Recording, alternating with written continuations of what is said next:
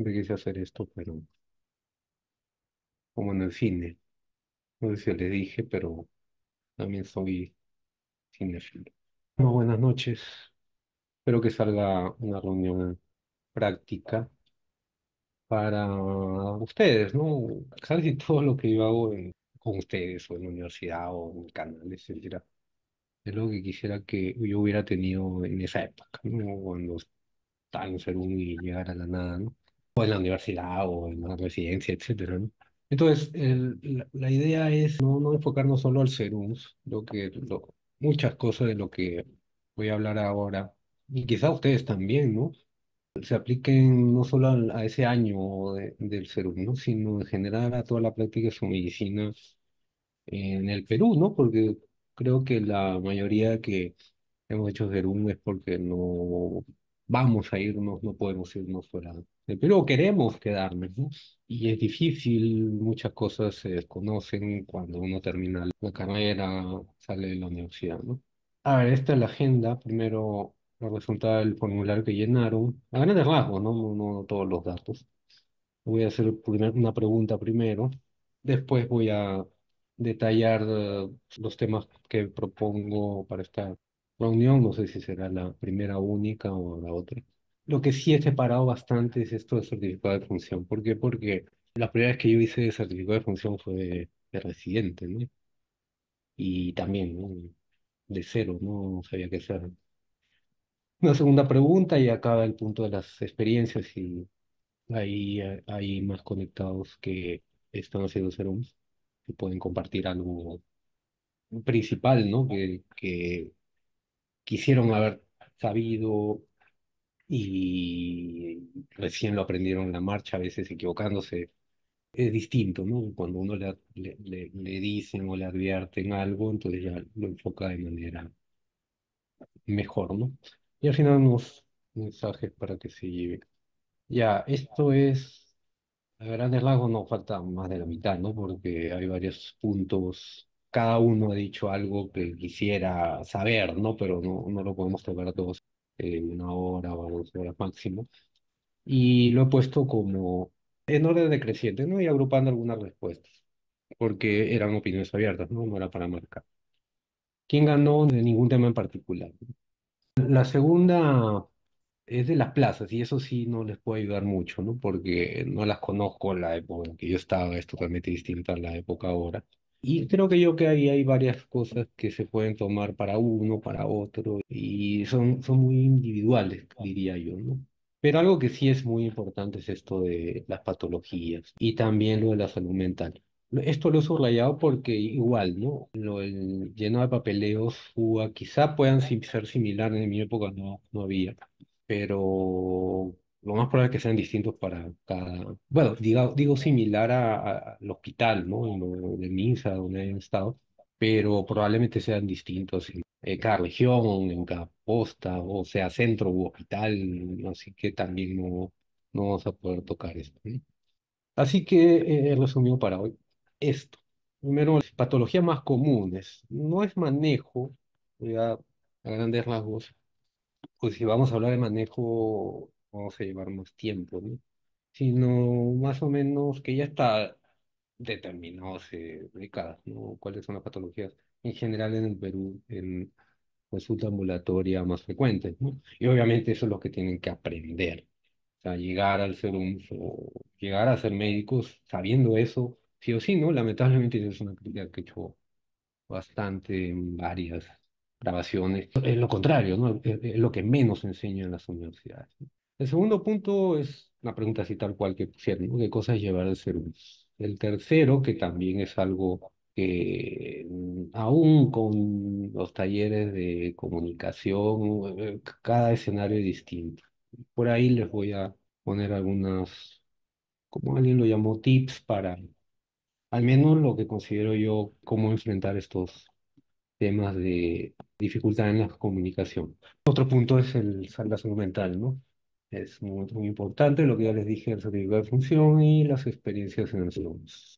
Voy a comenzar con una pregunta, pero, pero, pero, solo respondan por favor los que no han hecho serums todavía. Ya, estos son los resultados. Nadie ha marcado infección por COVID, tampoco infección urinaria y tampoco asma bronquial. Les voy a mostrar las estadísticas, ¿no? que hay, o bueno, algunas estadísticas, perdón, de, del MINSA sobre esto, ¿no?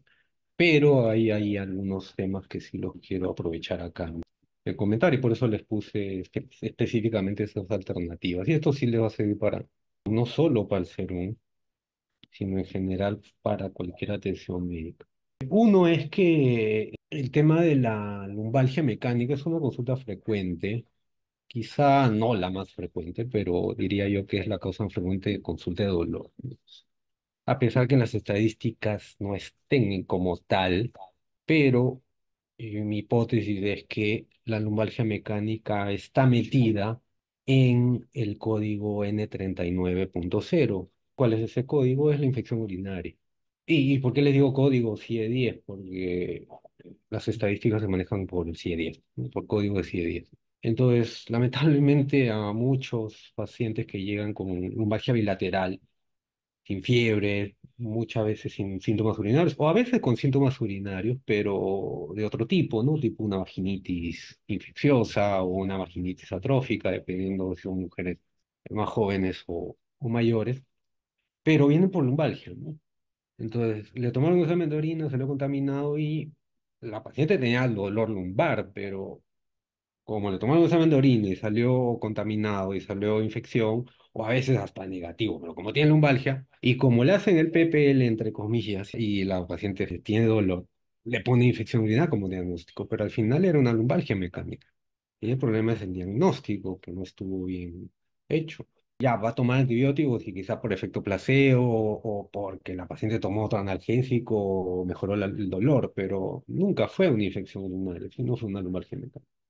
Entonces, ese, diría yo, esa estadística de margen mecánica no es real, ¿no? Entonces, por ahí puede ser que encuentren como una patología frecuente del margen mecánico. El otro punto es el asma bronquial. Yo hice mi serum en Ancash, Pogamba, no sé si conocerán la ciudad o por nombre, que sea. Es Sierra, ¿no? A ocho horas de Huaraz hacia adentro, pasando la cordillera.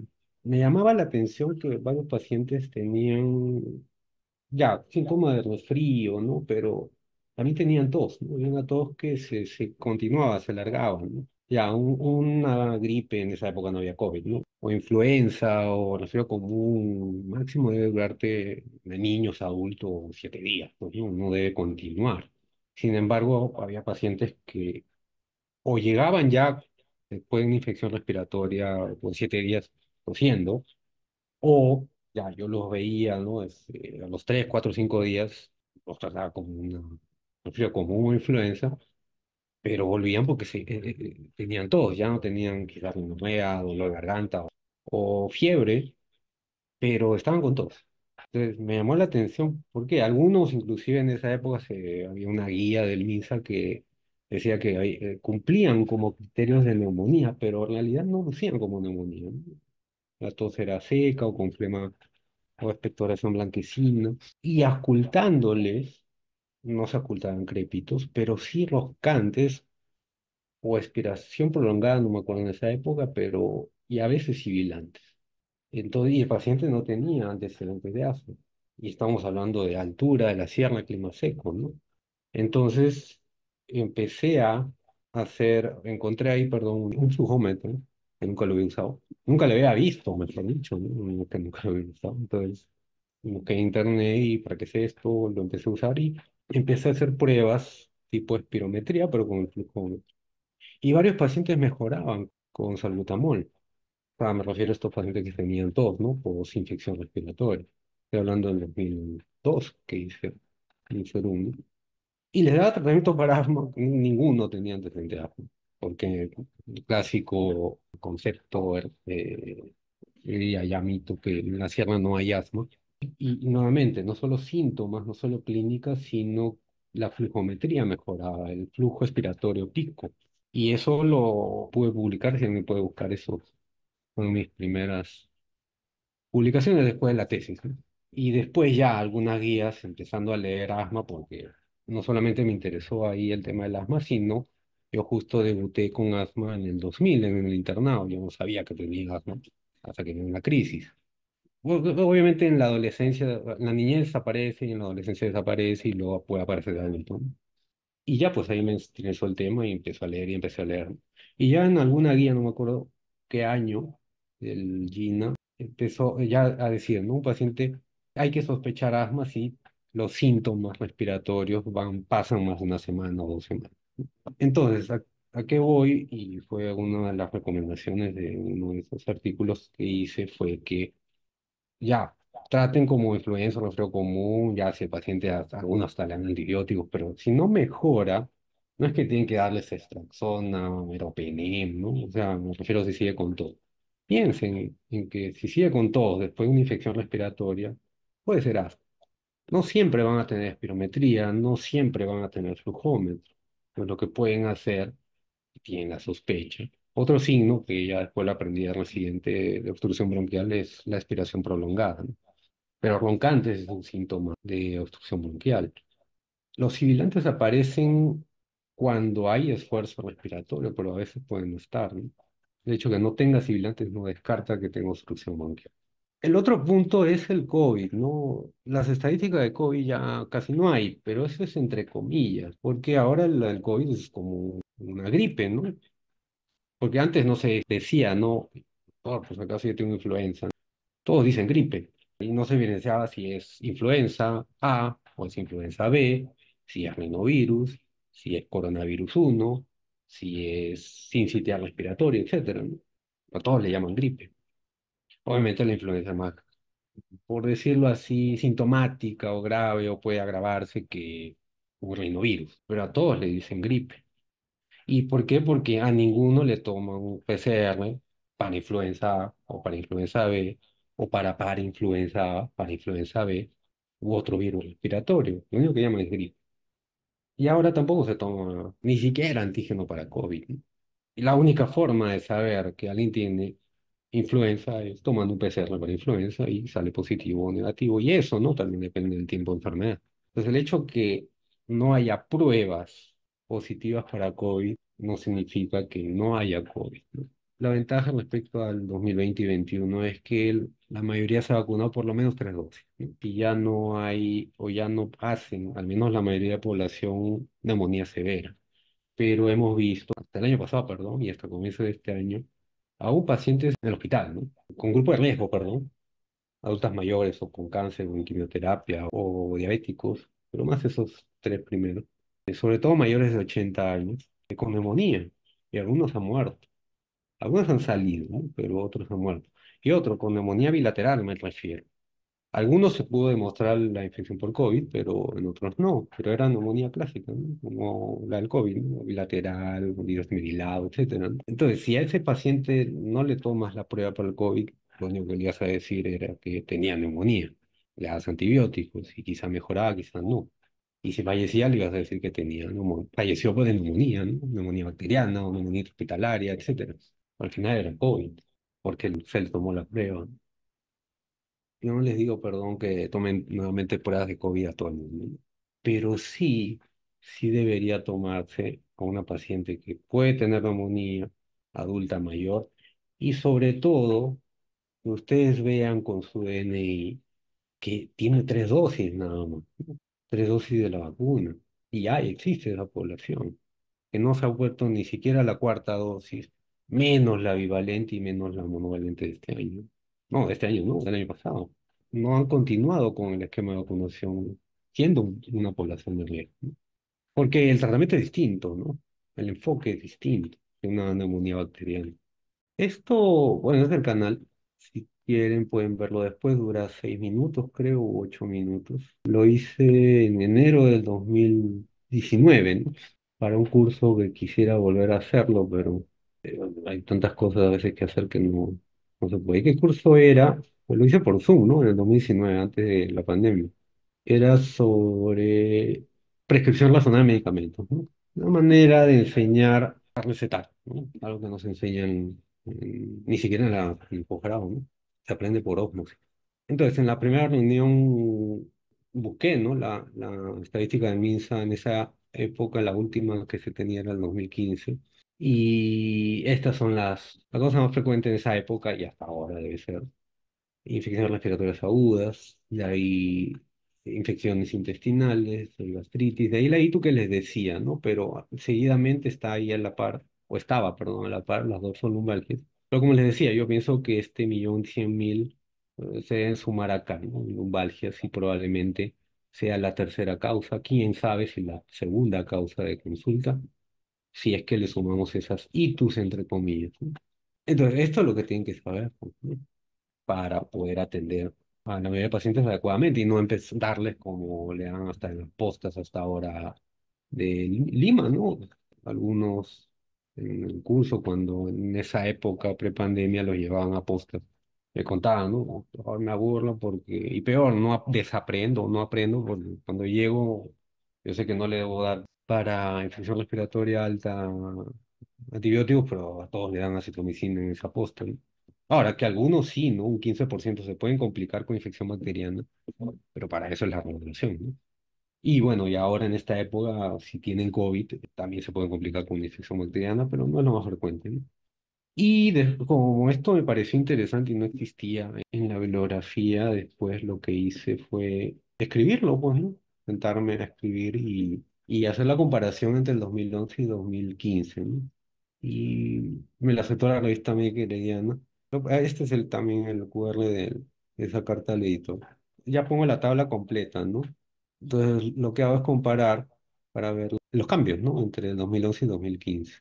Y desde 2011, ¿no? La causa más frecuente de infección respiratoria de vías aéreas superiores, la segunda igual, infecciones intestinales, ¿no? Pero acá lo interesante es los cambios, ¿no? El aumento, ¿no? Casi todas las enfermedades au- aumentaron, incluso, ¿no? La obesidad aumentó bastante, ¿no? Ahora, estos son registros, ¿no? No quiere decir que antes no había obe- obesidad, ¿no? Sino que esto se registraba o se registra más y aumentan los casos, ¿no? Es lo que les decía, ¿no? Los médicos en 2015 registraban ITU, ¿no? Puede ser lumbalgia, ¿no? Pero es lo que tenemos. Y en base a esto es lo que deben también ustedes leer más, ¿no? Leer más, ¿no? No creer que ya saben o son expertos en el manejo, de, al- de alguna enfermedad. Cada paciente es distinto, aunque no lo crean. Lo mismo, ¿no? Para diarrea infecciosa. Eso ya lo podemos ver en una segunda reunión, ¿no? El manejo de infecciones respiratorias superiores. Poca gente aplica los criterios de Centor, ¿no? Algunos se van al extremo de darle todos antibióticos, otros se van al extremo de no darle antibiótico a nadie, y tampoco es esto. Tampoco es que algunos pacientes sí necesitan antibióticos, pero es de acuerdo a evidencia, de acuerdo a criterios, ¿no? Los criterios de centro deben aplicarse y la mayoría de veces no se aplican.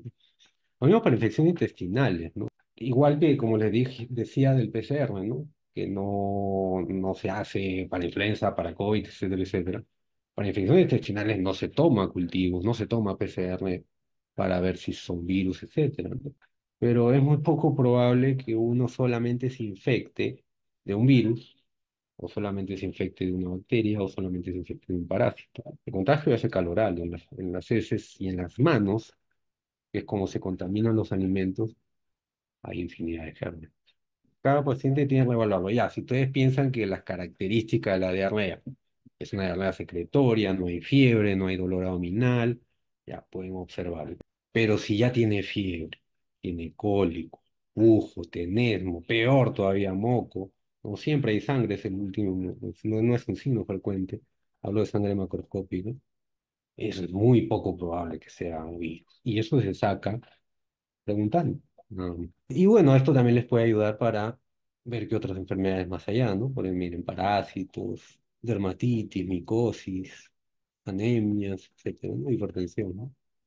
Lo que tienen que saber sí o sí para atender los pacientes. Esta es la segunda pregunta. ¿Qué cosa es llevar al serum? Entonces, ¿cómo responder esta pregunta? Igual, ¿no? Las épocas son distintas, los lugares son distintos, pero esto obviamente es subjetivo, ¿no? Esta es mi opinión, ¿no? No es evidencia científica.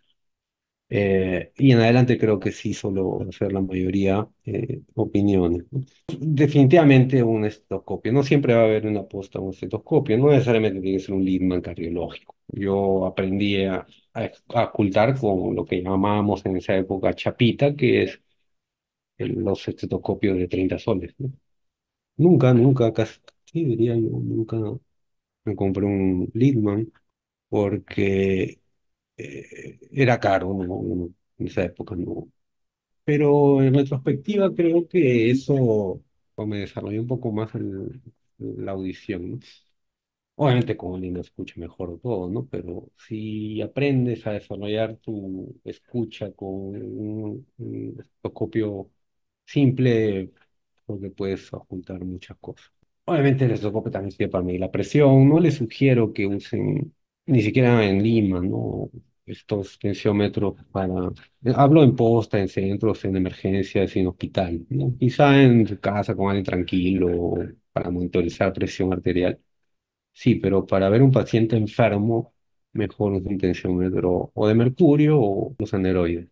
Y bueno, lo que van a ocultar básicamente, pueden haber opiniones distintas, ¿no? Obviamente los cardiólogos le van a decir una cosa, los neumólogos le van a decir otra cosa. Mi opinión es que básicamente les va a ayudar bastante más que todo para tracción pulmonar, ¿no? Porque no van a tener muchas veces radiografía. Y ahí, a grandes rasgos, ¿no? Encontrar crépitos, concantes te va a decir para un lado, obviamente sibilantes, pero que todo el mundo debe saber, ¿no? Pero, o debe diferenciar, pero eh, ocultar un soplo, es raro que puedan encontrar, lo que han aprendido en el hospital es algo totalmente, realmente son un centro de referencia, ¿no? Es raro que oculten un soplo por endocarditis, pues. Pero Igual, ¿no? Si lo encuentran, lo, lo escriben en su historia, pero ocultar en alguien que tiene tos, si tiene crépitos o tiene sibilantes, es un manejo totalmente distinto. ¿no? Si encuentran un soplo en un paciente que viene por otra cosa, lo tiene que llevar al cardiólogo, ¿no? Porque tiene que ser ecocardio, no, no hay otra forma. Y muchas veces, a veces se confunden, ¿no? Y eso me trae, recuerdo la, ¿cómo fue la visita esta semana, pues, ¿no? La externa me dice, la- y la residente también, ¿no? hemos ocultado un soplo, ¿no? Pero se oculta en dos focos, en el foco aórtico y en el foco pulmonar. Ya, ok, entonces lo oculto y sí se ocultaba un soplo, pero cuando lo ocultabas con la campana ya no, claro, en el corazón. Y al final, ¿qué era? Era que lo que tenía es una, la paciente era una paciente con insuficiencia renal que tenía una fístula en el brazo izquierdo. Entonces, lo que ocultaban era la radiación del soplo de la fístula, que se ocultaba incluso hasta en el hombro, ¿no? Entonces, cuando se ocultaba el corazón con la campana, no, no se ocultaba el soplo, ¿no? Eh, a veces se pueden confundir, ¿no? El, el diagnóstico de valvulopatías es con ecocardio. ¿Qué más?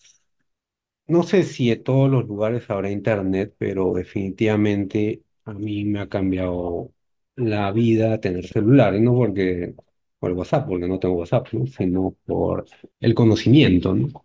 A, un clic poder buscar o resolver la pregunta que desconozco en ese momento. Y ojo, ¿no? No siempre necesitas internet porque puedes guardar documentos que los puedes tener ahí para leer y, responder alguna duda o consulta que tengas, ¿no? En mi época no era, no había ese celular, obviamente, ¿no? Y eso que este es un iPhone antiguo. Ah, pero tenía una laptop y, y no tenía internet, pero obviamente tenía algunos documentos los cuales podía leer. Pero si tienen internet, creo yo que en el lugar donde, donde van a ir les va a ayudar bastante. No, obviamente también se pueden conectar su laptop, tablet, etcétera, ¿no? Pero para mí el celular, casi hago todo en el celular, salvo, salvo las presentaciones, ¿no? Porque se ve muy chiquito trabajar en Excel, ¿no? Pero los documentos todos los hago en, el celular, ¿no? En el Drive, ¿no? Obviamente no solo celular, pues, ¿no? Tablet o laptop les va a ayudar bastante. ¿Qué más yo diría ya también en esta época el saturómetro, ¿no? Pero no solamente vean la saturación, ¿no? Igual también la semana, la semana pasada, solo enfocan la saturación, ¿no? Pero eh, no he visto un saturómetro que tenga este índice de perfusión, pero la frecuencia cardíaca también ayuda, pero ojo, ¿no? En un paciente que no tiene fibrilación auricular. En alguien que tiene fibrilación auricular, sí tiene que contar la frecuencia cardíaca. Y otra cosa que sí tiene casi todos los saturómetros es esta curva del pulso que en realidad es una, utilidad, ¿no? En algunos pacientes hipotensos pueden ver que este pulso baja con la respiración. Y eso yo lo descubrí en la pandemia con un saturómetro más grande, ¿no? En la cual la curva se veía más grande. ¿Y qué era eso al final, ¿no? Que estaba así y luego con la inspiración bajaba y luego subía. Ojo, ¿no? Esa es la presión del pulso. Mientras más alto es que tiene una presión mayor, mientras más bajo es que tiene una presión menor. Obviamente la mayoría tiene la presión igual, por eso ven las ondas iguales. Pero ¿qué les puede inferir que la presión está así y luego con inspiración baja? ¿A alguien se le ocurre? Muy bien, Renato, no es el pulso paradójico. ¿no? Que indica, bueno, ese paciente al menos me indicó que tenía un TEP masivo, ¿no? Por COVID, ¿no? También, ¿no? Fue en la primera ola, en el 2020, ¿no? Y después lo he visto en algunos pacientes en este saturómetro, ¿no? No, no en este de la foto, sino el que tengo, ¿no? Que también tienen, cuando lo ponen en horizontal así, también tienen una curvita. Claro que como es menos, menos amplio, digamos, el espacio, quizá no se puede notar tanta la disminución, ¿no? Pero les puede ayudar para eso, ¿no? Y lo otro, y espero que no se ofendan, no es que lleven la serie de House, volvió a Netflix, está de nuevo en Max o HBO Max. Bueno, hay memes también, ¿no? Los que dicen, este, toma, se te cayó tu cerebro, etcétera. ¿Y a qué, a qué voy? A que en los últimos tiempos, ¿no? Eh, se está actuando, no lo digo por ustedes necesariamente, me acuerdo inclusive, ¿no? Una práctica, creo que internado o externado virtual, ¿no? Con el grupo de Natalie, ¿no? Que justo probamos esto de de la grabación de las visitas, ¿no? Cuando no podían, no los dejaban entrar a los hospitales. Entonces, la repregunta en la- en las discusiones de los exámenes, ¿no? Que se ha perdido, ¿no? Ahora en, en la discusión de caso realmente no sé si estoy hablando solo o ni siquiera por el chat, ¿no? Aunque sea ustedes también escribían, ya, los que no hablaban, etcétera, escribían por el chat y respondían, ¿no? Pero se ha perdido eso, ¿no? En las visitas también últimamente eh, no responden, ¿no? Se quedan en silencio, a veces por miedo, a veces por temor a equivocarse. A todos nos ha pasado, a mí también interno, ¿no? Pero, pero cuando estás ahí, ¿no? Le preguntas y las repreguntas, empieza a salir, ¿no? El- lo que tienen ahí, todo, alguien que ha terminado una universidad es, y peor, una carrera tan larga, de hecho que tiene algún grado de inteligencia, solo que como que se estancan, ¿no? Como que se acostumbran o están en un status quo, ¿no? Y si ustedes no estimulan a su cerebro a seguirle preguntando, a veces ustedes mismos, ¿no? No necesitan que alguien les, les pregunte algo, pero que al final quien quien le va a preguntar es su paciente, ¿no? Entonces, estimular su cerebro, ¿no? Con varias cosas. Ya, quizás también, ojo, ¿no? No solo medicina, ¿no? Sino de, de otras cosas también, ¿no? Entonces, e- e- eso, ¿no? Con cualquier cosa, preguntas, exámenes también que pueden haber en, en internet, es cuestión de, de, de usarlo, ¿no? Y, y adquirir el conocimiento de cualquier tipo, como les digo. Pero ¿cómo lo van a lograr? Ya después de la universidad, créanme que, créanme, perdón, que solo depende de ustedes, ¿no? Ya no es un examen que tienen que aprobar, ya no es un título que tienen que sacar o, o pasar el año, ¿no? Depende de ustedes, que, pero si se quedan ahí, créanme que ya, quizá puedan prepararse para la residencia, aprobar, estar ahí, pasar, y va a dependernos. También a veces hay gente que tiene suerte, pero al final quien sufre si ustedes no van aprendiendo en la carrera son los pacientes que ustedes van a atender. Obviamente todo esto lo tienen que usar, mejor dicho, para adquirir un conocimiento adecuado, ¿no? Tratar o recetar o diagnosticar por lo que escucharon en el externado o internado algo, sino por lo que leyeron, por lo que aprendieron. Ojo, también de una fuente bibliográfica adecuada. El tercer punto, esto es algo que ni siquiera leyéndolo les va a evitar conflictos, ¿no? Tienen que practicarlo y a veces también, aún practicándolo, va a venir un paciente, lo, lo pongo entre comillas, ¿no? Porque hay razones por las cuales un paciente o un familiar se exacerba, se exalta, no es porque se la agarre con ustedes, o no es porque esté en contra de ustedes, no es, es- de verdad, o no, pues, no es porque quiera hacerles problema. Doy por hecho que todos ustedes, la- quizá la mayoría de médicos también, siempre van a querer hacer lo mejor por el paciente, ¿no? Y a veces si encuentran a alguien que les reclama, ustedes, oye, pero te estoy ayudando, ¿no? Al contrario, ¿no? Se molestan y, y ya reaccionan distinto, ¿no? Pero ustedes qué saben qué le ha pasado a ese familiar o al mismo paciente, ¿no? Para reaccionar así, ¿no? Y hay algo que no se aprende, yo también recién lo aprendí cuando fue justo para una clase que ya no les di a ustedes, ¿no? Una época en 2017 que nadie iba a clase, estaba en el curso de clínica 2, ¿no? Y el doctor Seclen se quejó, ¿no? En esa época, que solo fueron 12 personas en clase.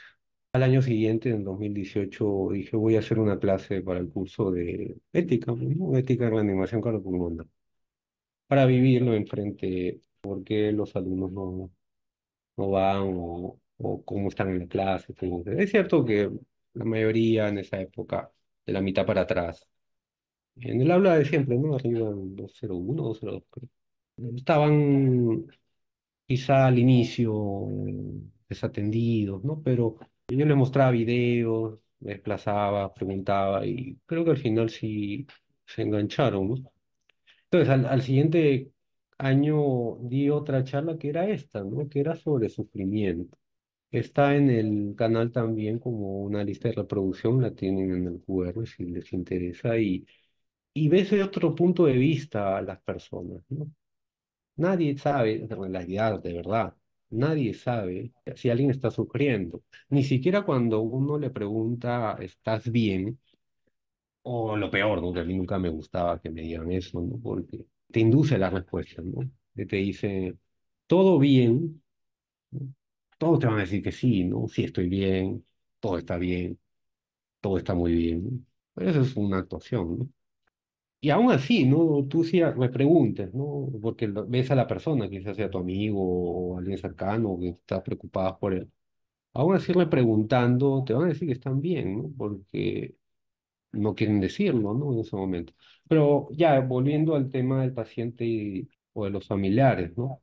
Ambos están sufriendo, ¿no? En mayor o menor medida, por múltiples razones, no solo por la enfermedad que están sufriendo. Ustedes que saben, ahora peor, desde el año pasado, este año el CIS casi no tiene nada, ni siquiera en el Hospital Baiza, que será en, en las postas de provincia, ¿no? Me imagino. Entonces, si alguien la justa gana 100 soles semanales y, le, y se cae enfermo y no tiene dinero para comprar, obviamente va a sentir un- una frustración, etcétera, ¿no? Y nos va a ver a nosotros como la cabeza, la cara, perdón, del lugar, entre comillas, que nos lo está apoyando, ¿no? es el hospital o la posta. Pero en cambio, si ustedes le preguntan si alguien está así, ¿no?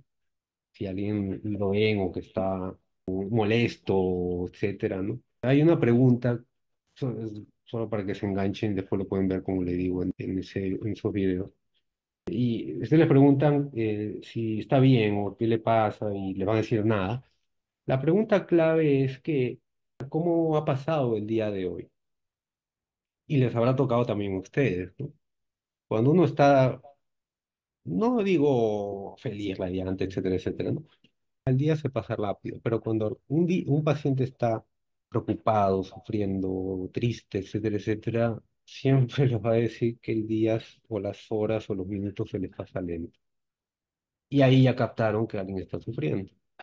Entonces, ahí la siguiente pregunta es que, ¿por qué? Entonces, cuando ustedes se interesan en realidad, ¿no?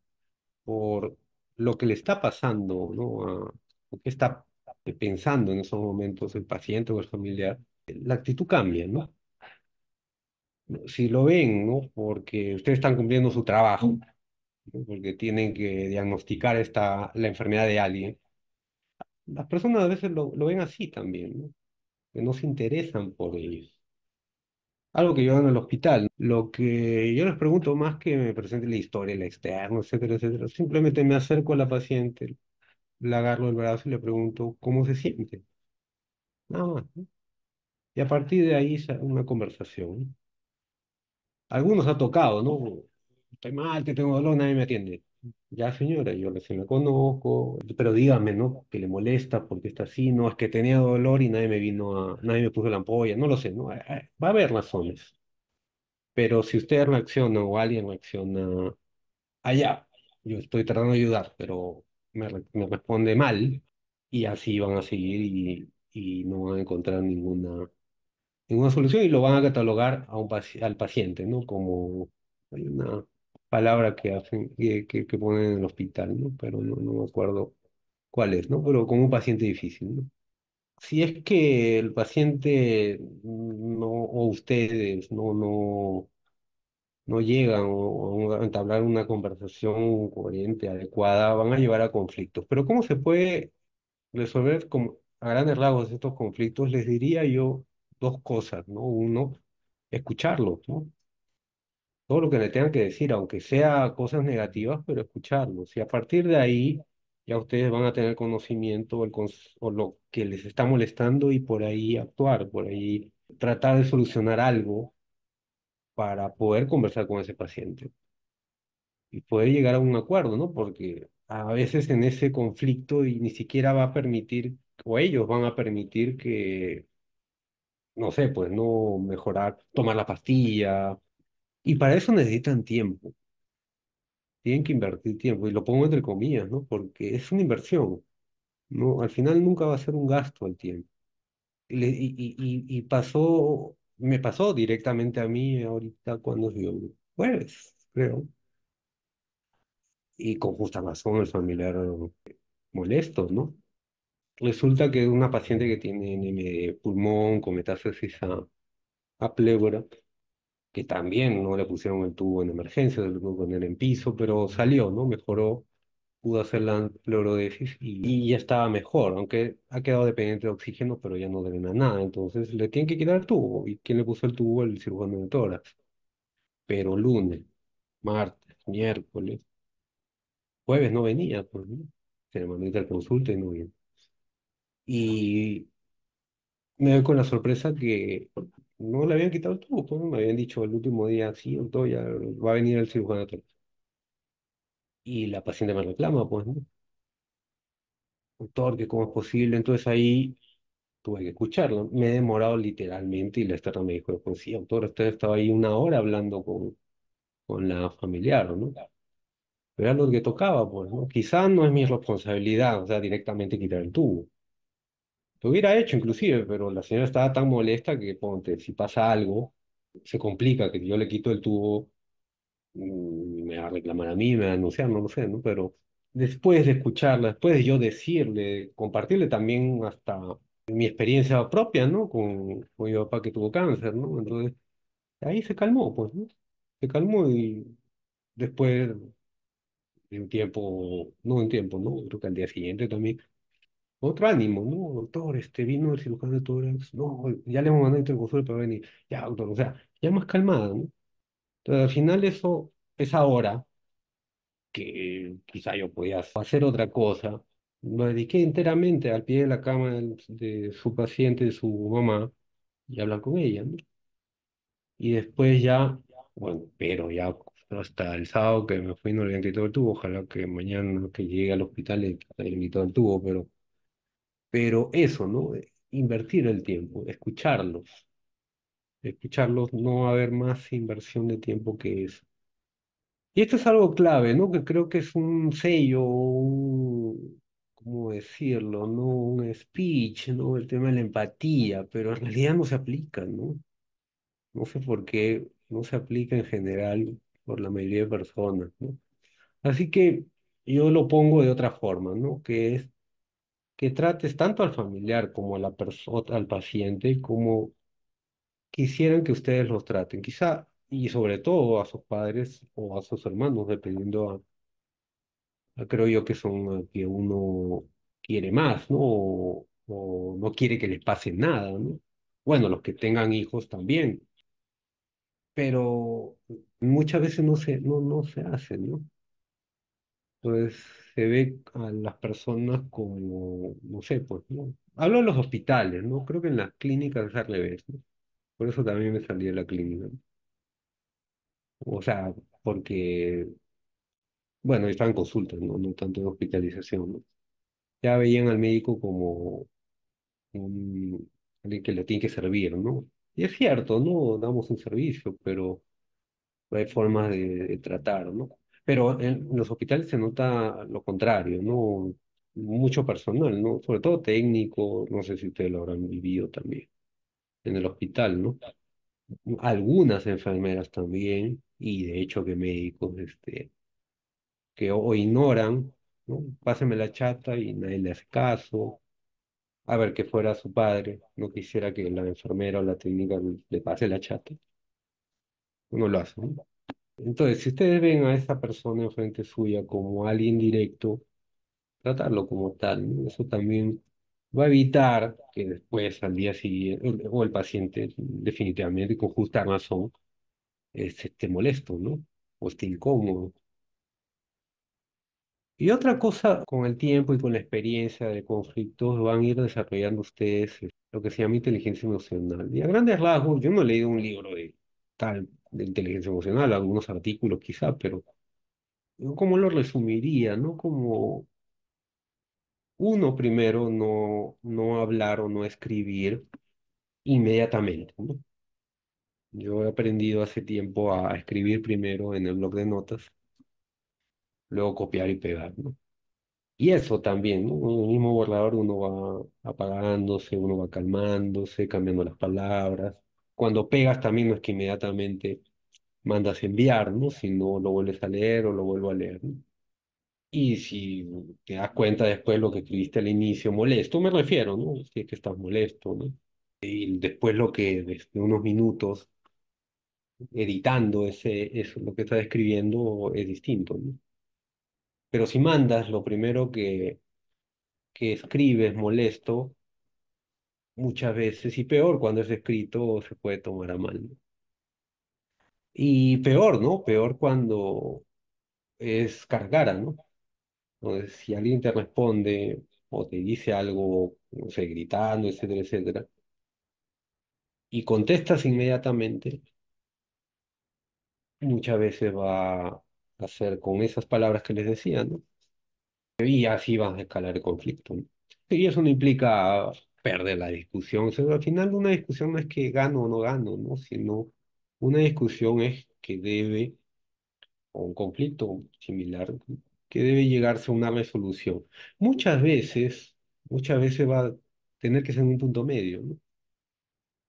Quizá al inicio y después ya alguna de las partes, si es que, ojo, también no es demostrar o no es ir a mi punto o no es ir a mi lado porque quiero o porque pienso así, ¿no?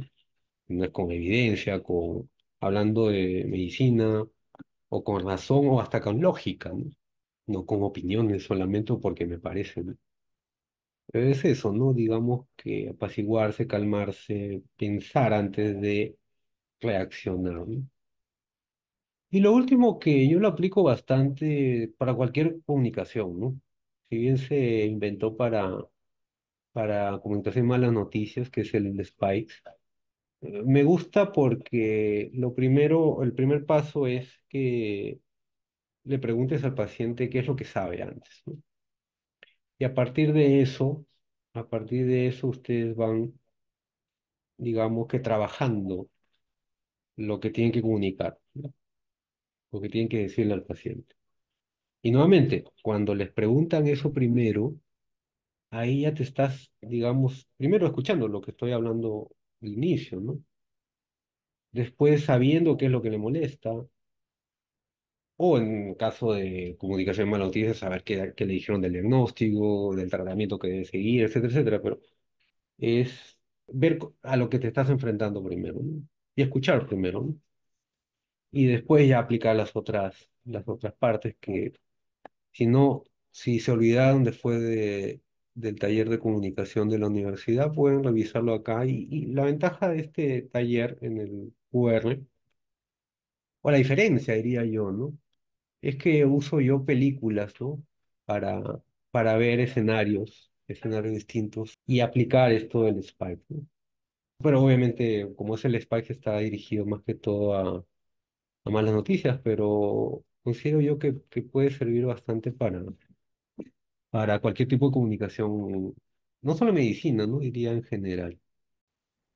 El cuarto punto, ah, se menciona así, ¿no? El cuidado de la salud mental en el cerebro, pero yo me pregunto, el cuidado de la salud mental de ustedes, el cuidado de la salud mental de sus padres o sus familias que están preocupados.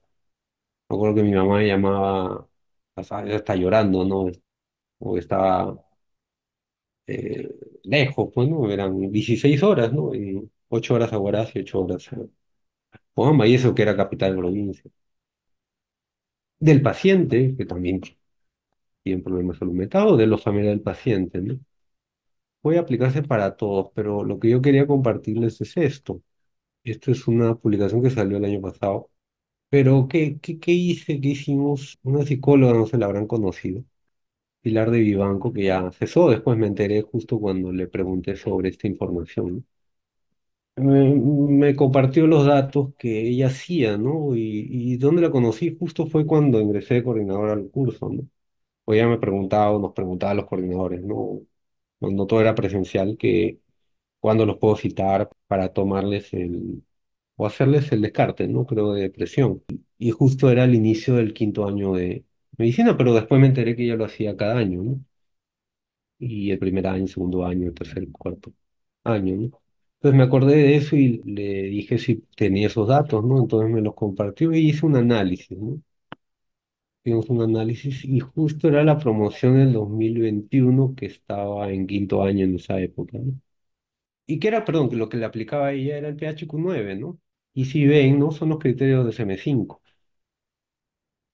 Eh, pero bueno, el PHQ-9 es los, el tiempo, ¿no? Que tienen estas molestias en las últimas dos semanas. Y esto fue 2021 en pandemia, pues, ¿no?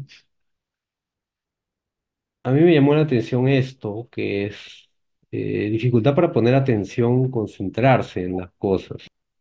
Y ya, esto puede ser obviamente a- afectado en su rendimiento académico estando en la universidad, pero en la vida también esto es un problema, ¿no? Y esto es otro problema, ¿no? Que sería el segundo, pues, ¿no?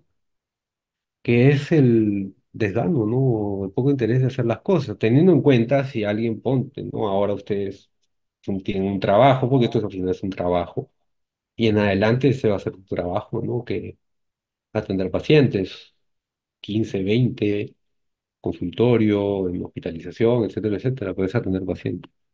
Pero si en algún momento se deprimen, ¿cómo va a poder hacer esto, no? Ya no van a tener interés por hacer las cosas. Pero hay una última pregunta en este PHQ9 que es si todo esto tiene, le ha producido dificultad para realizar su trabajo, estudiar o encargarse de la casa, etcétera, ¿no? O llevarse, miren, ¿no? O llevarse bien con otras personas. Y el puntaje va de cero a 3, pero el promedio fue uno punto tres, ¿no? Miren, ¿no? Diría 6 días o 5 días en 14 días, ¿no? ¿Cómo será ahora? ¿Cómo será ustedes? No lo sé. ¿Cómo será cada uno en... Estos son las dos semanas, ¿no? Pero en en todo el, cada año de la vida, ¿no? Y esto también se puede aplicar también a pacientes, familiares, y ver si están deprimidos, ¿no? Porque la depresión en verdad no, no permite llevar una vida normal, ¿no? Y si no lo detectan a tiempo, no van a recibir un tratamiento adecuado y, y esto a ser un círculo vicioso que lleva al final, de todas maneras, así como cualquier otra enfermedad, a la muerte, ¿no? Por suicidio, ¿no? Ya vamos a, con este sería el último punto, el certificado de función. Como les dije, eh, a mí no, nadie me enseñó a hacer certificado de función, ¿no? En la posta, por, bueno, en Perú, por suerte, yo solo atendí en posta, en salud, no había pacientes graves. Había un hospital del MINSA, creo que era uno, obviamente todas las emergencias iban ahí, o sea, emergencias graves, ¿no? Sabían que en la posta de seguro apenas había pastillas y ampollas intramusculares, ¿no? Ni oxígeno había realmente. Había un balón, pero estaba vacío. No tuve ningún fallecido, obviamente. Entonces, en la residencia sí, pues, ¿no? Hubieron fallecidos y cómo llenar esto, nadie sabía. Me tuvo que corregir realmente cómo llenar esto el técnico de estadística del hospital, ¿no? Y les digo, me refiero al tema médico, lo que corresponde es el tema de los diagnósticos, ¿no? Porque lo otro es llenar, ¿no? La fecha, la hora, aunque a veces algunos nos hemos confundido por la madrugada, llenar una fecha y, hay que corregirlo, ¿no? Todo es mecánico, la dirección, etcétera. Pero lo que les compete a ustedes principalmente y no lo compete a ningún administrativo es el diagnóstico. Pero ¿cómo llenar el diagnóstico, no? Hay como ven tres o cuatro puntos. Este es el, este es el manual, ¿no? Y comienzo con esto porque así comencé llenando. Hay una secuencia, ¿no? Ahora, no todas las enfermedades tienen tres secuencias, pues, ¿no? Pero siempre se debe poner uno la causa, digamos, básica de muerte, que es, póngase, ¿no? En este caso la neumonía, ¿no? Pero esto lleva una secuencia, ¿no? Insuficiencia respiratoria, requiere oxígeno y fallece shock séptico. U otros pueden fallecer de insuficiencia respiratoria, nunca se chocaron. Pero debe haber esta secuencia, ¿no? Eh, no es que de frente pongo simplemente, y hay gente que pone, ¿no? Paro cardiorrespiratorio, eso no es un, diagnóstico de muerte, ¿no? Eso es una fisiopatología o como quieren llamarlo. Ni siquiera es una causa final de muerte, ¿no? La causa final de muerte, por ejemplo, en este caso fue un shock séptico que no mejoró con vasopresores o antibióticos, ¿no? En otros casos va a ser insuficiencia respiratoria, no lo sé, por una tromboembolia pulmonar o por la misma neumonía, ¿no? Como le decía, nunca se chocó, etcétera, ¿no? Pero por lo menos siempre deben haber dos causas, ¿no? Una final y una básica. Pero ahora ya, y va a ser obligatorio desde el primero de mayo, ¿no? Que va a ser todo por el SINADEF. Bueno, sigue siendo todo por el SINADEF, perdón. Ya no hay nada manual, sino eh, con DNI electrónico, ¿no? Y esta es la página del SINADEF, la pueden googlear también. Y acá en registro de funciones aparece la página donde tiene que hacer el registro, ¿no? Y les va a salir esto, ¿no? Con el usuario que es su DNI y el password que le van a dar automáticamente a su correo, ¿no? Porque tienen que inscribirse y todo eso. ¿Y qué sale, no? Sale más o menos esto, ¿no? Bueno, no, no, no, no, no puedo entrar, obviamente, porque solamente entramos para llenar fallecimientos, ¿no? Y después se queda abierto. Pero esto es un certificado, digamos, que dice el hospital, ¿no? Cuando termina sale así, ya para imprimir. Y esto es más fácil, ¿no? ¿Por qué? Porque los datos del paciente, lo único que tiene que ingresar es el DNI. Y cuando ingresa el DNI sale todo, ¿no? El nombre del paciente, la dirección, el departamento donde vive. Lo único que tiene que llenar, obviamente, es la fecha del fallecimiento, si han constatado o son los, los médicos tratantes, si hicieron necropsia o no, y los diagnósticos, ¿no? Y, por ejemplo, ese es otro caso, ¿no? Un paciente que tenía cáncer, hizo tromboembolia pulmonar y necesitó oxígeno, no mejoró con anticoagulación y falleció de eso. Esa es, digamos, que la secuencia que deben hacer. Ahora, hay un curso, yo todavía no lo he hecho, sobre cómo llenar, ¿no? Esto de los certificados de función. Se llama SINADEF. Bueno, se inscriben a esta plataforma, el link está acá o en el QR, y buscan este curso de SINADEF, ¿no? No sé cuánto tiempo les llevará porque no, no, no, no lo he hecho. Si tienen tiempo, si pueden hacerlo, ahí están. Ahora sí, ya me cansé de escucharme. Pueden alguien de los que están conectados hablar de su, o sea, alguno que esté en el Zoom ahorita para compartir con sus compañeros algo, ¿no? Ah, está, Renato creo que quiere hablar, ¿no? Sí. Hola, sí, doctor. ¿Qué tal? Buenas noches. Este, ¿y qué tal, este, gente de la promoción? Eh, yo ahorita estoy haciendo serum en Ayacucho y ha sido un cambio fuerte, ¿no? No solamente aprender a vivir, eh, entre comillas, solo, fuera de casa, un cambio de ambiente, este, fuerte, sino el idioma. La, la mayoría de pacientes, la mayoría habla español, pero sí hay uno que otro que no.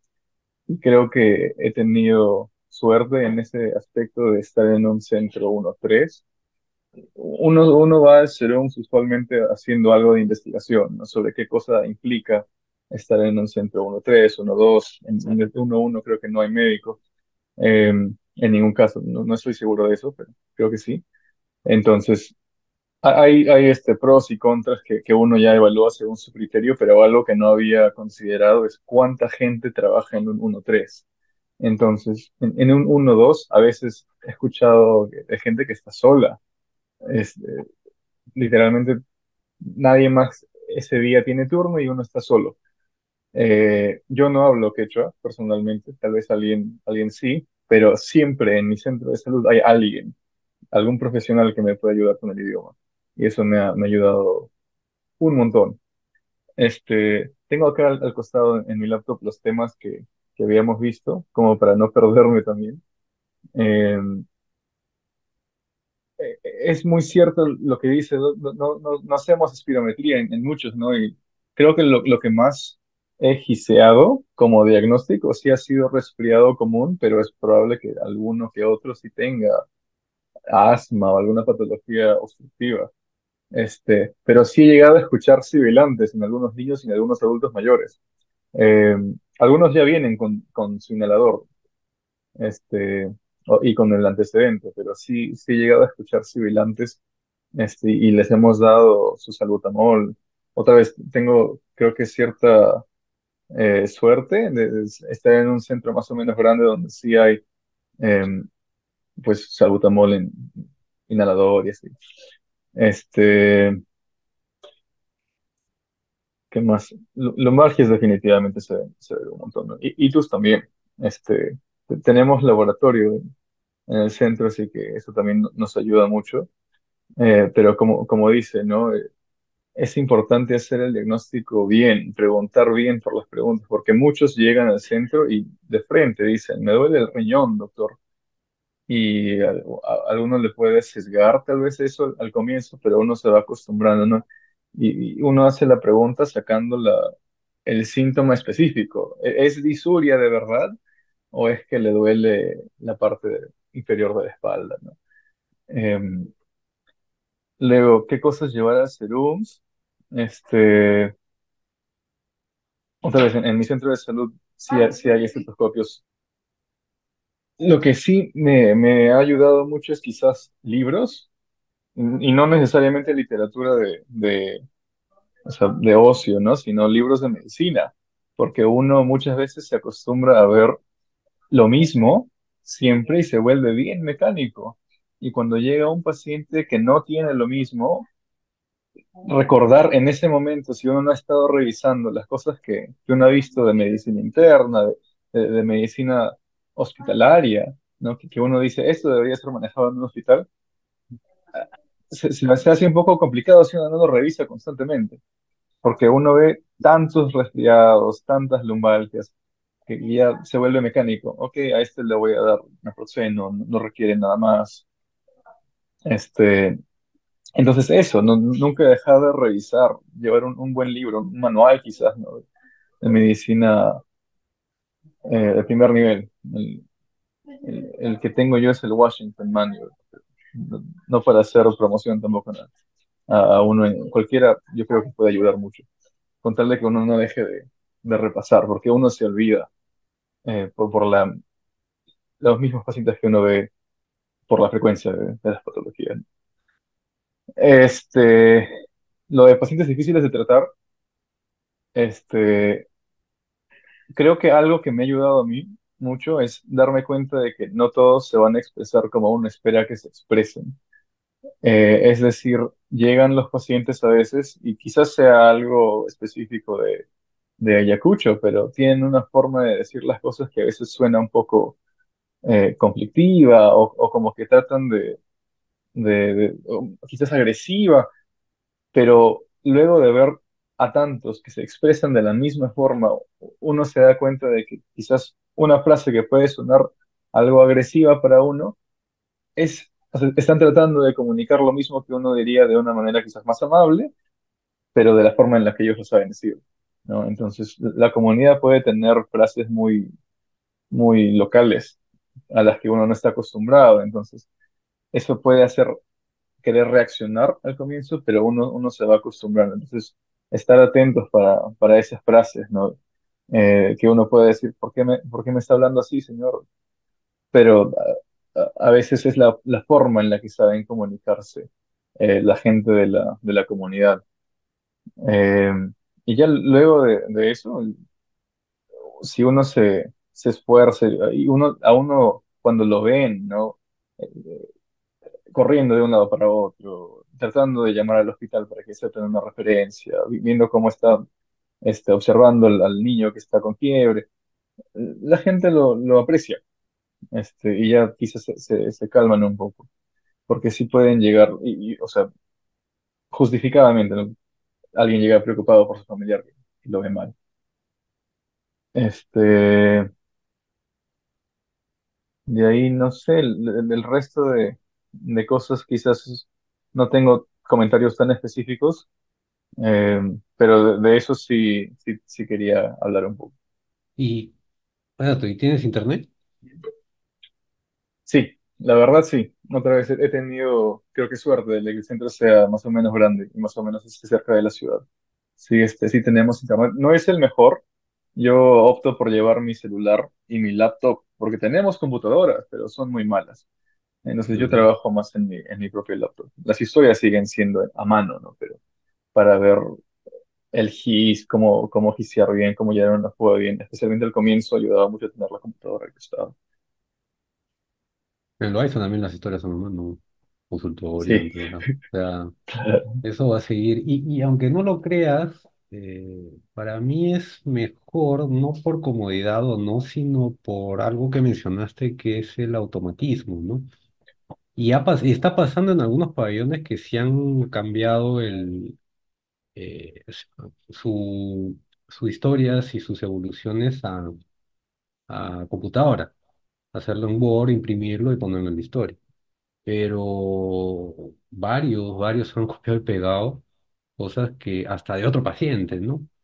Entonces, y eso es un- una equivocación importante, ¿no? Hasta, bueno, inclusive escribiendo una historia a veces a mí me ha pasado también que me equivoqué de historia, escribí, pero me doy cuenta, tuve que tachar eso y escribirlo en el otro lado, pues, ¿no? Pero, o si era una hoja nueva, la saco y, y la pongo en otro, pero, pero como es algo tipeado, no se va, ¿no? Entonces, este, puede ser un peligro eso por ese lado, ¿no? Pero si en algún momento llega la historia clínica electrónica, creo que en salud sí están trabajando así. Eh, hay que, hay que hacer un doble check, no lo sé, pues, pero, pero todavía, todavía creo que en UNISA se va a trabajar, o se está trabajando con, con historia eh, manual, ¿no? Y sí, bueno, es bueno que, que tengas internet, aunque sea lento, de verdad, es útil, ¿no? no, ayuda mucho, E- e, Es ayuda mucho. útil buscar algo en tu celular rápido en el momento que estar abriendo la laptop o este, buscar una computadora de algún sitio donde hay internet, ¿no? Este, y a veces son Ujú, cosas que tienes que, como dicen, ¿no? En ese momento estás enfrente al paciente que tienes que resolver el problema, ¿no? Sí, sí, sí. Creo que otro, otro punto que, que me ha llegado a afectar un poco es eh, que se me cayó mi celular y se me malogró la pantalla. Y estuve con uno de reemplazo, que, que también era este smartphone, pero era uno bien, bien antiguo. Casi no, no servía mucho, me salvaba de emergencias, pero muchas veces uno como centro periférico tiene que referir a la ciudad. Y muchas veces en la ciudad no son lo más comprensibles de que uno no tiene señal, de que uno no tiene internet entonces, si pueden llevar los que van un, un buen celular que tenga buena capacidad de batería, porque a mí se me apagaba el celular en el transporte y cuando, a veces exigen, mándenme un mensaje cuando ya están entrando a la ciudad para saber tener el equipo preparado, ¿no? Este, ese también podría ser una buena recomendación, llevar un celular que, que aguante, eh, que tenga buena carga, ¿no? Sí, porque el, el mío me ha hecho sufrir Claro, porque terriblemente. no, no van a tener este forma de cargar siempre, pues, ¿no? Sí, sí, sí. A ver, antes de que creo que Karen quiere hablar algo, más bien gracias Renato por, por tu participación. Nairuz escribió en el chat, dice, aparte de trámites que se hacen vía correo, al menos en Junín es obligatorio tener internet. Sí, pues claro, ¿no? También hay trámites, efectivamente, ¿no? Se necesita internet ahora para, para todo. Muy bien, Karen, ¿qué tal? tal, doctor? ¿Cómo están? Buenas noches a todos. Em, bueno, yo quería, con, bueno, estoy yo en la misma región que Renato, en Ayacucho, en otro centro de salud. Y sí es cierto, el quechua fue, fue una limitante al inicio. Yo tenía bastante pánico cuando los pacientes llegaban y solo hablaban quechua, porque me parecía un poco vergonzoso tener que, que decir "Mana quechua, que no hablo quechua, que fue lo primero que aprendí a decir en quechua. Este, y parar, decirles que me esperen, pararme y traer. Y Con el tiempo ya perdí la vergüenza, me paro y grito, ¿necesito traductor? Y aparece, igual que en Renato, estoy en un uno tres así que aparece alguien que me traduce. Pero también creo que si uno está pensando en adjudicar a la sierra o ya adjudicó a la sierra, es útil aprender ciertas palabras. Hay veces en las que hay algún traductor, pero están muy ocupados y hay muchas cosas que se pueden llegar a entender. Yo me aprendí las partes, algunas partes del cuerpo, los números, para que me digan cuántos días llevan las molestias hasta que venga el, el, traductor, o han habido veces, y ahora, bueno, ahora último hasta que estuve trabajando, que podía incluso hacer casi sola la consulta sin un traductor, porque eran palabras que yo ya había escuchado muchas veces y ya me había acostumbrado, adaptado, adaptado más o menos lo que me estaban este, hablando para entenderlo. Ese es un punto. Eh, también hay un, eh, en las primeras semanas llegó el Ministerio de Cultura a mi centro y me informaron que hay un traductor 24 horas por llamada del MINSA del Ministerio de Cultura, perdón. Eh, si quieren, luego les paso el número. Eh, no lo he usado, la verdad, porque siento que los pacientes me mirarían raro, pero de repente alguien le puede ayudar. Entonces, sí, este, es una herramienta muy buena y muy pocos la conocen aparentemente. Así que eso también está chévere. Eh, y bueno, también yo quería hablarles sobre la salud mental. Eh, yo soy una persona que personalmente me gusta trabajar con mucha gente en el Hospital Cayetano, que ha sido donde he rotado más. Siempre estaba lleno, el, equipo era grande, ¿no? En casi todos los servicios. Y por eso también cuando escogí las plazas, apunté algo en lo que haya un gran equipo, un equipo amplio, no, no necesariamente muchos médicos, pero que haya más gente aparte de mí, dos, dos personas, algo así, eh, en el centro, porque yo soy una persona a la que se siente cómoda trabajando más o menos en equipo. Entonces, adjudiqué una plaza donde tenemos 10 serumistas, somos 35, es prácticamente un policlínico. Lamentablemente por eso tenemos mucha carga y eso fue uno de mis, de- fue mi talón de Aquiles al inicio. Era mi primera práctica como médico en toda mi vida y comenzar de frente con 40 al día fue todo un reto, la verdad. Yo me sentí abrumada los primeros días, literalmente mi segundo turno, lo, o sea, lo último que dije en ese turno fue renuncio. Fue muy duro para mí adaptarme pero ahí me di cuenta que yo había escogido bien mi plaza, porque ese mismo día que dije renuncio, aparecieron todos los serumistas en mi, consultorio a decirme cómo te podemos ayudar. Y no eran de medicina, estaba la serum de nutrición, de psicología, de enfermería, el farmacéutico, todos los serums siendo mi red de apoyo y me conocían media hora del almuerzo, pero aún así estaban dispuestos a ayudarme en, ¿no? Lo que les dije que necesitaba era un abrazo porque estaba abrumada, Y me explicaron que lo que me faltaba de papel lo podía hacer el día siguiente, que no me desespere, que las- los acompañé una vez porque ya era hora de salida. Entonces, obviamente con el paso de los días me adapté, aceleré también pues el tema del papeleo, pero el hecho de tener más gente en mi centro, y yo sabía que iba a ser duro el proceso de adaptación, a mí me ayudó mucho. Entonces, no digo que sea lo ideal para todos, pero de repente como uno ya mismo se conoce, qué tal trabaja en mucho grupo, o si trabajan mejor solos, podrían también considerar eso al momento de adjudicar una plaza, porque a veces en los reviews te dicen cuántas personas trabajan en un centro, o te haces una idea, en un uno tres sí suele haber bastante gente, en un uno dos menos y en un uno uno mucho menos, ¿no? Creo que esos eran mis, mis principales recomendaciones. Ah, y hay regiones que tienen patologías bien específicas, aparte, bueno, de las más comunes. En Ayacucho tenemos un montón de tifoidea, yo no lo sabía, nadie me lo dijo, pero eh, comenzaron a llegar casos y yo estaba yo dudando como, ¿qué es esto? ¿Será dengue? Pero acá no hay dengue. Y eran síntomas muy, muy raros para mí que yo no, nunca había visto tifoidea. Pero literalmente podemos diagnosticar de 10 a 15 tifoideas al día. Es todo un problema. Estamos viendo de reportarlo.